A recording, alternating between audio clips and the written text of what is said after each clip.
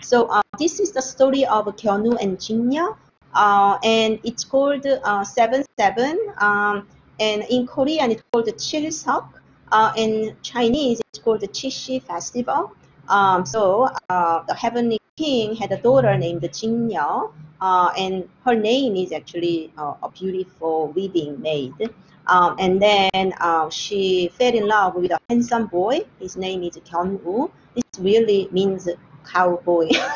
and then the Milky Way is a beautiful uh, starry path in the sky. Um, so they fell in love with, uh, they didn't do their work. So uh, Heavenly King grew angry and then ordered the couple to be separated. Uh, and then only one day a year. So that is the seventh day of the seventh month of each year. Um, and then um, in order to help them, uh, crows and Magpies uh, make bridges across the Milky Way. Um, and then at the end of the meeting, they start to uh, shed uh, tears, right? So uh, if the rains on that day, it's because of the couple's tears.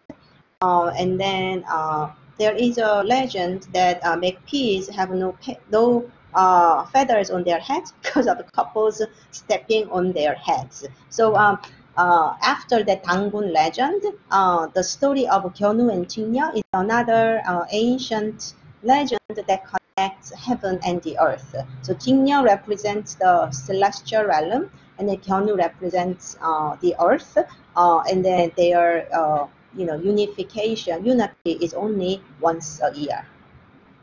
And then now let's move to another important tomb called Muyongchong. Um, so uh, this tomb, uh, all the wall paintings are not well preserved. Um, so what do we have is some ceiling decoration like this. Uh, and then we have fragmented wall paintings like this. So we don't have a uh, owner's portraiture or any other uh, painting. Um, so Deokheungri and then uh, Chong are also uh, belonging to the same group that you have a little bit of a celestial depiction and then you have that scenes of daily life or it's called genre painting. Uh, you don't have uh, the uh, portraiture uh, of the uh, uh, no no. Deokheungri you had portraiture, but Muyongchong, we don't see the owner's portraiture. So here you have some uh, scenes of daily life, such as uh, two maids or two women are carrying food trays. Do you see like a little bowls? So carrying food trays and maybe one, two, three ladies are coming out of the door and then going somewhere. And then this one looks a bit like their barn uh, or stable and then the owner or a nobleman is living a house uh, on his horseback. But in this tomb, the most important elements are these group of men and women. Why do you think I say men and women? Do you see? Oh, dress. Yeah. Tell us more. Because the woman wears a skirt, the man man wears like pants. Yes, yes. jacket and uh, pants. And also based on their uh, headgears, you can see that he may be a leader of the group, right? Like he has the feathery hat, and then there are, you know, like a, a of people following him. Um, so yeah, the reason I say men and women uh, is because these are considered women's dress, and then the rest of them are considered men's dress. And also you can see the shoes are also a little bit different for men and women. Well, women has more like a, a boots type of shoes, uh, and so you know, whenever we consider reconstruction of a Goguryeo dress, people usually come to this Muyongchong uh, tomb of dancers and then um, try to uh, represent this. If you search for Muyongchong uh, figures, like dancers of Muyongchong on the internet, you can see uh, various rep, how do you call it, uh, re reproduction of these dresses. There are a lot of opinions like, uh, what about these polka dots? You know, how do you going to create these polka dots? Can you tell us some of your hypotheses? How can you create these polka dots on, on your fabric? Any ideas? Yes? Maybe it's dyed. A tide, uh, just like a tie dye of um, like a Japanese or you know other types. I mean, Korean uh, people also have the tie dye. So you tie all these pieces and dye them, and then open it. And um, there are areas you dyed and not. Mm, that that could be. Uh, who else?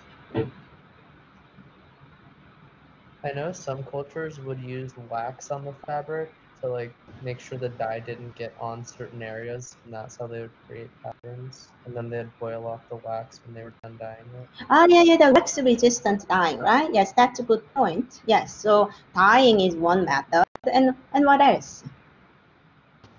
Maybe just knitting. Oh, the the male voice first. Uh, knitting. Knitting. Oh, so you are going to knit the whole garment with a needle and thread? Well, I, I don't know so much about uh, knitting itself. You know, for knitting, you need a lot of, um, you know, yarns, right? Like a little rather thick yarns. Uh, okay, interesting hypothesis. Uh, who else? It could have been woven. Woven. Yeah, woven would be the most difficult uh, in terms of uh, level, right? You you are going to weave together, right? But as you weave, like a you know thread by thread, some point you are going to make these dots, right? And then and then you you are you know going to weave, weave continuously all the way up. Your weaving could be possible. Uh, what else? Maybe like burn marks or scorch marks. Scorch. You you burn it. Maybe. so these are actually holes, not the patterns. that would be really interesting, right? Uh, that's so so creative. But what what you know, you are not mentioning one particular technique in Asian uh, textiles. Block Needle. printing. Block printing, block printing. Yes, that's uh, you know uh, common in like later in Japan or uh, in India. Like you have wood block, right, and then you actually have these blocks, uh, you know, ready made on the, the wooden block, and then you continuously stamp on it. Yeah, um, that's uh, you know uh, decorative pattern. But what else? That very elaborate needlework. Embroidery. Embroidery, yes. Usually when I teach this, a lot of students first start with embroidery and then we go to something else. So, you know, scholars argue that it's either embroidery or it's weaving. Uh, embroidery is very labor intensive if you have to add, let's say, you know, 72 dots or something. Uh, but possible, right? If, if you can have uh, skillful embroiderers, you can do better. But you know, somehow it's like a really uniform. Do you see this like lines like this? You know, so it's more like a mechanical way of doing it. And maybe it could be weaving, like a weaving together with the patterns. Um, so uh, there is no conclusion. Uh, but you know, if you are working for theatrical costume in order to reproduce these uh, dancers' costume, this is something that you have to think hard, you know, like considering historical contexts. Um, so uh, most feasible uh, and uh, like a, a mm, historical method would be either embroidery or woven together. But and but but um, there is also uh, foiling. Do you know the gold foiling technique? Uh, if you have a stamp of this pattern, um, you can put the foiling, uh, like the glues are placed on these areas, and then um, you can add the foiling. But the colors are black, um, which means it's not the gold foil or silver foil of shiny surface. Something uh, visibly uh, conspicuous. Um, so maybe embroidery or uh, weaving. Anyhow, so this is the most popular um, wall painting from uh, Korean art. You can see um, cosmetic cases or uh, wallet cases or handkerchiefs with these patterns. Um, and then uh, the dresses again, it's somewhat similar to the martial arts uniform, right? There are uh, dark color uh, ribbons for necks and the jackets, and then um, um, you you you have a, um, the uh, belt as well, uh, and then pants are really loose.